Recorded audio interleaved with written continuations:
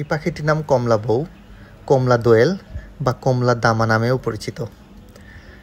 পরিবার টুরডিডি ইংরেজি নাম orange headed thrush, orange headed crowned thrush, বৈজ্ঞানিক নাম জুথেরা সাইট্রিনা।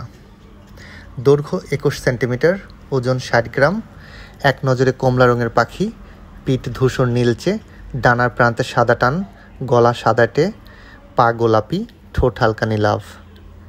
খাদ্য হিসাবে পোকামাকড়, কেঁচো ইত্যাদি বাসা গাছের সরু শাখায় বাটির মতো বাসা বানায়।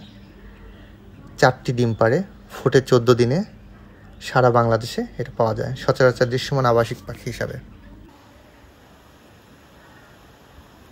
Orange headed thrush also known as orange headed crown thrush family টুডিডি Bangla name কমলা বউ কমলা দোয়েল Komala dhama and scientific name Euthera citrina length 21 centimeter width 60 centimeter orange bird at first look back is gray bluish white bars on edge of wings throat is whitish pinkish legs pale bluish peel.